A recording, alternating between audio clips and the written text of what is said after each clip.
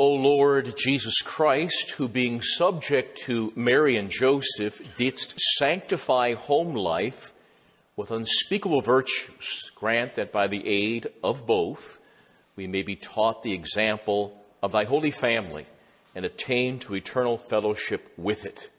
Words taken from today's opening prayer for the Holy Mass. In the name of the Father and of the Son and of the Holy Ghost. Amen. Laura Vicuña was born in a place called Santiago, Chile, in the 19th century, the late 19th century. Laura Vicuña's father was named Joseph, and he was an accomplished military officer and came from a very good family that was part of the aristocracy. Laura's mother was named Mercedes, and she was a simple country girl who had fallen in love with a man in uniform. When Laura was still very young, a revolution and a civil war broke out in their homeland of Chile that forced the family to go into exile. And being a member of the nobility meant that Laura's father was a marked man, and the revolutionaries would kill him if they could get their hands on him. Being in political exile made life very challenging for the family, but things became even more difficult when the father, Joseph Vicuña, suddenly died. Mercedes Vicuña, the mother of the family, was now a widow, and Laura was now without a father. They would escape further away from the revolution in Chile by heading into Argentina, where Mercedes hoped to find work as a cook and a housekeeper. The desperate widow then made a most terrible moral choice. Mercedes had met a man named Manuel Mora, who owned a large ranch and an expensive hacienda, and a moral arrangement was made. When Senor Mora would agree to house and provide for the mother, Laura, and her other sister, but in exchange, Mercedes would agree to act as a mistress to Mr. Mora. With their tuition being paid for, for schooling by Senor Mora, Laura would eventually be sent off to a good Catholic school where the sisters would teach her the Holy Faith. Laura began to thrive academically and especially spiritually in that Catholic school. She loved the sisters very much, and she enjoyed attending the Holy Mass, going to confession, and making regular visits to our Lord in the Holy Tabernacle, which Laura called Jesus' little house.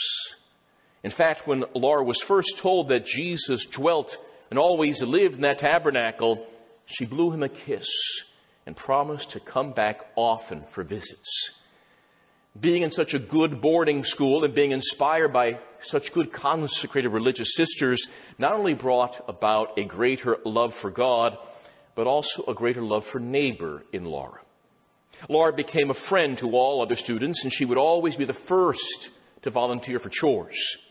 She was the consummate, the perfect peacemaker in the dormitory. Many describe Laura as being serious about life and wise beyond her age. She even had a mature understanding of prayer and brought a joyful spirit of piety wherever she went. As Laura once observed, quote, whenever I am, rather wherever I am, at school, at play, or anywhere else, the thought of God accompanies me, helps me, and consoles me, unquote. But after the school year was over, Laura would have to return to that bad environment of Senor Mora's hacienda. Laura had taken catechism classes and studied the Holy Commandments with the sisters, and she knew that her mother was not living the right kind of life, but that her soul was darkened and was in danger of being lost. During her first summer vacation from school, Laura began to experience the unwanted advances of Senor Mora, drunk with whiskey. The master of the house would try to embrace and kiss Laura, but she would be repelled by his re- behavior and sought to stay far, far away from him. When she was just 10 years old, Laura would receive her first Holy Communion. But this important event of her life, most important event of her young life, she noticed that her mother did not receive the sacred host young daughter realized that her mother was most unhappy and that Laura would pray before the tabernacle saying, Jesus, I wish that Mama would know you better and become happy, unquote. After receiving the most blessed of all sacraments, Laura was further strengthened by grace and began to ponder seriously the religious life and becoming a consecrated religious sister. Laura would say to others around her, I want to do all I can to make God known and loved. My God, I want to love and serve you all my life. When Laura returned to school, she was able to speak to a visiting bishop about becoming a religious sister. The good bishop encouraged her, but told her that she would have to wait for a bit because she was still quite young. She was also told by her confessor that her call, her vocation to the religious life was real. It was genuine but that it would have to be kept secret for a while. But when she got a bit older and asked the sisters to be admitted as a member of their order, Laura was told that it was not proper at this time, seeing that her mother was a public mistress living a scandalous life with Senor Mora. Another home visit, Laura once again was approached by the drunken Mr. Mora. He tried to take her into his arms, but she struggled ferociously, ran outside the home, and maintained her holy purity. During a special fiesta held in the local village a few days later, Senor Mora asked to dance with Laura, but she flatly refused him. The lustful man grew enraged and sought revenge. Laura was forced to hide outside the house in the dark all night while Mr. Mora vented his anger upon his mistress. The evil man then refused to pay her tuition for the schooling. But the good sisters heard of this difficulty and they took Laura back. And during that school year, Laura received the sacrament of confirmation. And with this new sacramental character and an increase of sanctifying grace, Laura would begin to embrace martyrdom. She realized that she did not as yet make that ultimate sacrifice for her mother, for the sake of her mother. Laura then begged her confessor that she be allowed to offer her life to God for the conversion of her mother. The priest, seeing her tremendous spiritual gifts present in this penitent, gave Laura permission to make the offering of her very life. In the winter of 1903, her martyrdom would begin. Laura became very, very ill in a mysterious way. Even a return home to the healthy climate and good air around the ranch did, did her no good. Her mother was saddened, but Senor Mora still had his lustful eyes upon her. Mercedes noted that noted this and soon took Laura and her sister away from the ranch and brought them into the local village. But in one night in January of 1904, again a drunk Senor Mora, filled with anger and lust, rode into that village on horseback and with the whip in his hand, he barged into the cottage where Mercedes and the girls were staying, and he demanded that his quote unquote family return to his hacienda. Laura would have nothing to do with it. She would not have her mother return to that life of sin again. Despite her sickness, Laura Vicuña walked right outside the door. Senor Mora was furious. Laura tried to run to the sisters' convent building, but she was quickly caught by Senor Mora. That man then began to whip her and then kicked her repeatedly as she lay on the ground crying for help. Laura had been beaten unconscious and left in the streets of that village. She would hang on to life for another week, being watched over by her sister and her mother. The priest was called to give her the final sacraments, including a good confession where Laura clearly stated that she forgave her attacker and bore him no ill will.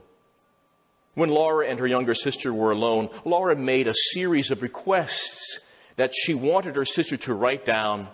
Laura said, quote, be good to mama. Don't give her any trouble. Respect her always. Don't ever leave her. Even if later on you have your own family, don't look down upon the poor, but be kind to them. Love our God and the Blessed Virgin. Pray every day to your guardian angel to keep you from sin. And don't forget, sister, we will be together in heaven. Unquote. Finally, just before she passed away from this world to heaven, Laura revealed her secret to her mother. Laura was only able to whisper, and so her mother had to lean very close to her lips. Laura then said, Mama, I'm dying, but I'm happy because I'm dying for you. I asked our Lord for this.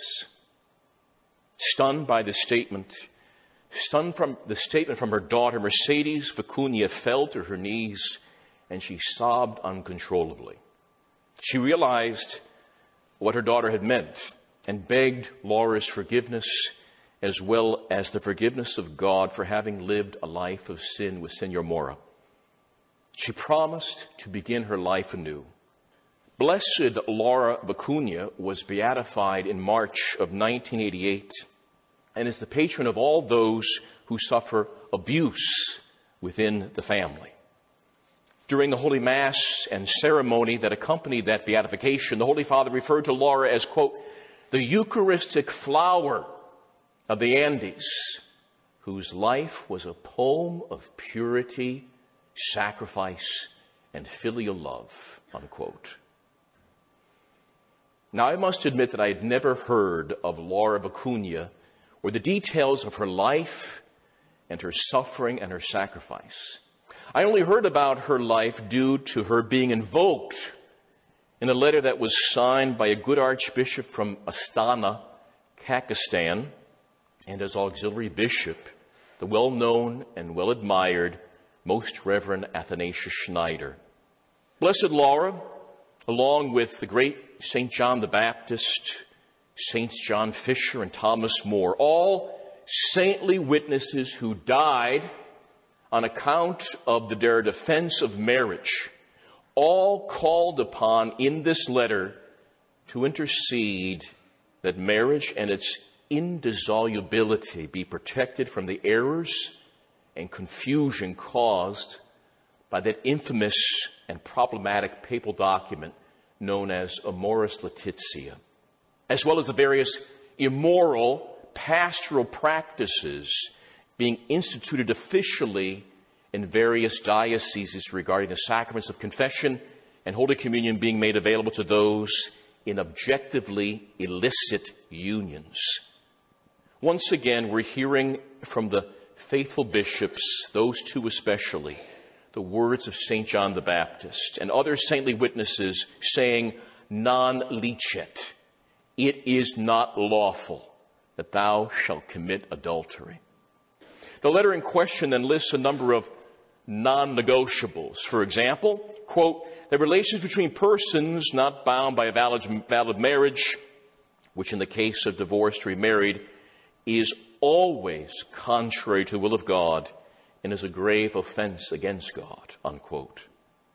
Blessed Laura Vicuña would agree with the other non-negotiables mentioned in the letter, including that moral imperative that, quote, it is not morally lawful to have relations with someone who is not thy rightful spouse in order to avoid another sin. Indeed, the Word of God teaches that it is not lawful to do evil that good may come. The bishops then added that, quote, no circumstance, not even one that might lessen accountability or guilt, can ever make such illicit relations morally positive or somehow pleasing to God, unquote. Now let's face it. Laura Vicuña's mother, Mercedes, found herself in a most difficult situation. A desperate widow with two small children who surrenders to the lusts of another in order to survive and to have her children cared for.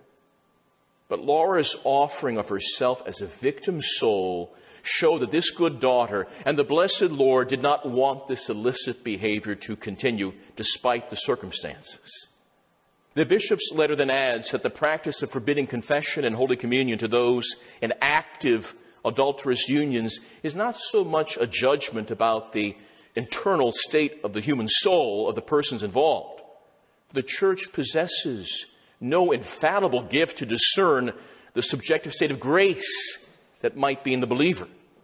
But rather, Holy Church and her ministers are judging the visible, public, and objective nature of the situation as one that is obviously adultery.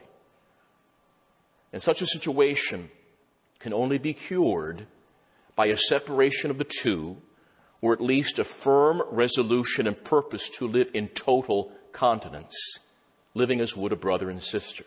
If adulterous couples were to be admitted to Holy Eucharist, if Mercedes and Senor Mora have been falsely accompanied and encouraged by a local pastor to approach the altar rail after a time of discernment, but not conversion, the faithful around them would be led into error regarding the teachings of marriage, including its indissolubility.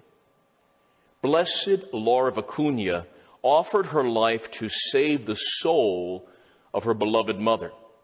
She did not compromise the Holy Gospel. She noted that her mother could not receive Holy Communion for she was not right with the good Lord and needed to be healed. And Laura would be God's instrument in bringing about true conversion and perhaps the very salvation of her mother. For Blessed Laura Vicuña, the Holy Family was and still is the model and example for all spouses and families to follow. In the name of the Father and of the Son and of the Holy Ghost, Amen.